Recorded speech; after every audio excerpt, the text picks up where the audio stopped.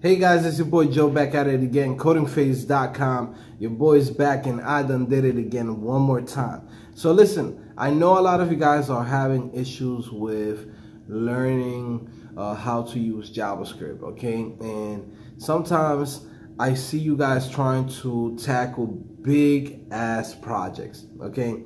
And I'll be honest with you.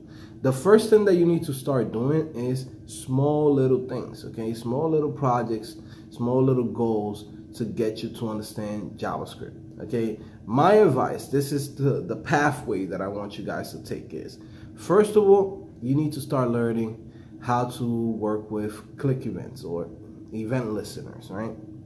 Like little simple things, right? You start saying, okay, what if I have a div with the class of button, right? How do I get that div, right, by either an ID or a class? And then from there, when I click on that button, I want the background to change red, right?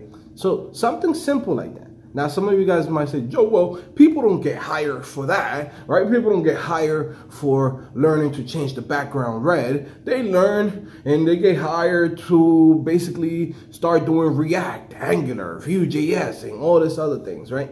And, and that's true.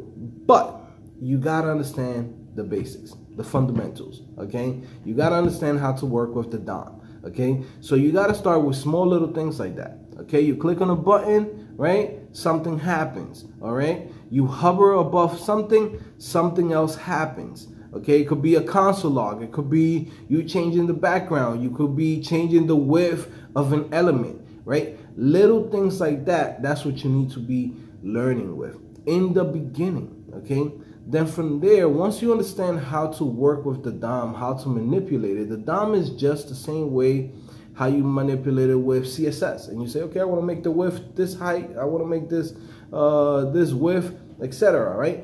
Think of JavaScript like how CSS is, right? You have elements and you can target them and you can actually go in and change the the elements themselves. Okay, and then you have event listeners where it, basically listens for any type of event a click event, a hover event, uh, unfocus event, an active event, uh, submit event, right? So there's a whole bunch of different events that you can trigger on your page. All right. So knowing those basic concepts can take you very, very far. Now, the next thing, once you understand those little basic things and you have like little projects like that, okay, the next thing that you want to do is you want to start working with Ajax. Now, I always recommend people to start with Ajax uh, when you start doing some jQuery. And some might say, Joe, but why should I use jQuery when I could be doing this with, you know, vanilla JavaScript? Bro, doing things with vanilla JavaScript is more harder to to understand for a beginner. I'm telling you because I was there, right? A, a guy that goes in and says, well, I'm learning everything vanilla the vanilla way, right? He's gonna have a longer journey, okay? Now I went that long journey and I realized this was stupid. I could have just learned this with uh, jQuery. I could have learned this with Axios. I could have learned this with the Fetch API. I could have learned how to work with this thing, right? Instead of trying to do it the vanilla way, XHR and all this extra stuff. Like, it's too much boilerplate, too much to write, okay? So my advice is to just use jQuery, right? Just to practice, you know, practice with Ajax, okay? Doing a GET request from an API, doing a a post request uh, from an API. Those little things can get you very far, okay? How to get uh, information from the query params, right? Little things like that can actually add up to the bigger picture when you start learning things like uh, React, Angular, Vue.js, etc. All right. Now, of course, you also need some fundamentals of objects. Right. Understand how objects work. All right. So go in there, uh, learn how to remove a property, add a property, update a property inside of an object. Right. How to uh, set up your data. Uh, right. So you can say, hey, if I have an array and a half an array with multiple objects inside of it, how do I target each one of them? How do I update each one of them? right? And if you want to go a little bit farther, how do you keep this immutable? Now, that might be later on in, in your career something that you might want to learn, keeping your your data sets in, in, immutable. But at the end of the day, it's just it's a process, all right? It's a process that you have to go through. Okay, it starts with very simple things on the DOM, right? Very, very simple things. Things that somebody will say, oh, this is stupid, right? But this is just practice. This is for you to start putting things together. Okay, because when you look at a website and you go to, like, let's say a website that's on awwwards.com, right? When you go there, you you go to that website and you say, "Oh my God, this website has so many animations. This website has so many cool things. Like, how do you do this with JavaScript?" Right? Those guys did not learn making those things right away. It took a whole year, two years, three years. It's a process of understanding how the DOM works, understanding how to manipulate it, and then from there, once you understand all those things, now you can build whatever you want. Okay? Stop killing yourself out here. Stop trying to make crazy big ass projects and you still don't know the fundamentals. Okay? Start with the small things. Create a drop down, right? Create a, a small slider. Okay? Uh, create uh, some type of uh, table, right? That you can get data from an API.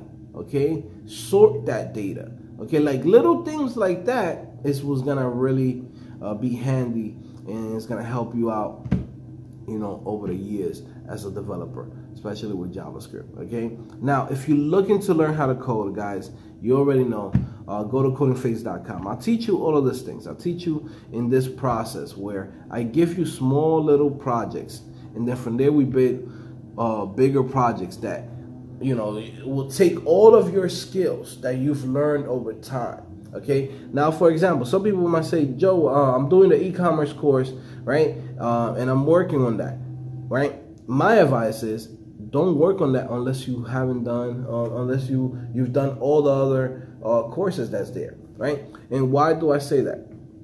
Is because everything on my website is built upon a previous course. Okay, so for example, if I come in and I teach you about e-commerce, I'm not teaching you about Ajax, right? If we're talking about Node.js, I'm not teaching you about uh, you know anything else as far as like HTML pages or template engines. I'm, we're not talking about that. We're already past that. If you didn't take the Node.js course, right, and you missed out on that whole thing, it's like by the time you get to the e-commerce course, you're like, wait, hold on, you're supposed to be uh, knowing all of those things, okay?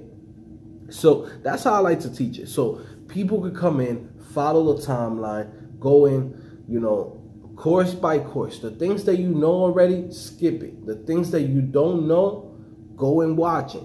Okay? This is not a race. This is a marathon. Okay, guys? This is not a race where everybody's trying to get there as soon as possible without knowing anything. No, it's like you need to know all of the fundamentals before you're able to start building bigger projects okay so i want you guys to take advantage of that so if you like i said if you want to go and learn uh, how to code trust me i can teach you this go to codingphase.com it's the easiest way to learn javascript uh, php uh, node.js react okay? Everything that's out there. Pretty much everything is going to get you hired. I don't waste my time. I don't teach you things that is not going to get you paid right? Let's just say that. If you if this is not a bag for you i'm not teaching it okay? Right? This is not for me to be like let me elevate your mind right? I don't do that you go and find somebody else to do that what i do is i pretty much teach you the things that's going to get you hired and the things that you need to get uh, that job because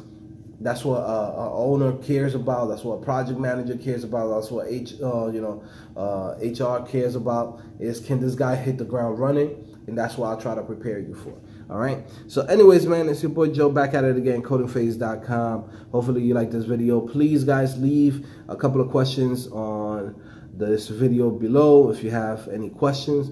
I will be answering. As you guys can see, I'm on vacation right now, but I want to answer questions every single day. I want to do like two, three videos per day where I'm answering questions for you guys. All right, so let's get ready. I'll see you guys later. It's your boy Joe back at it again. Peace.